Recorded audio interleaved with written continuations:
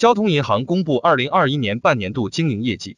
期内，交行实现净经营收入一千三百四十点五一亿元，同比增长百分之五点五九，资产总额达十一点四一万亿元，较上年末增长百分之六点七零，归属于母公司股东净利润四百二十点一九亿元，同比增长百分之十五点一零。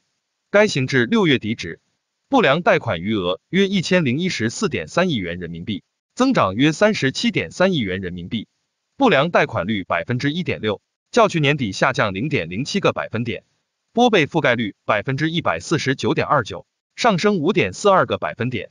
至于下半年净息差，公司管理层说，上半年净息差收益率为百分之一点五五，同比上升两个基点，净息差环比和同比均略有扩大。一方面，生息资产收益率在下降。上半年息资产收益率为百分之三点六三，同比下降十七个基点。但另一方面，负债成本率降幅更大，上半年计息负债成本率同比下降了二十五个基点。他又说，预计下半年净息差将保持总体稳定，受近期降准影响，负债端的成本率有望下降。不过，存款端市场竞争激烈，也在考验交行的市场拓展能力。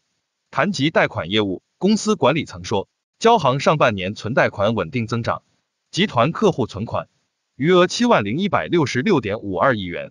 较上年末增幅百分之六点一九；客户贷款余额六点三五万亿元，较上年末增加四千九百八十二点七九亿元，增幅百分之八点五二。绿色贷款方面，交行大力支持乡村振兴、绿色低碳发展，绿色贷款和涉农贷款分别增加百分之十二点六五和百分之二十一点九一。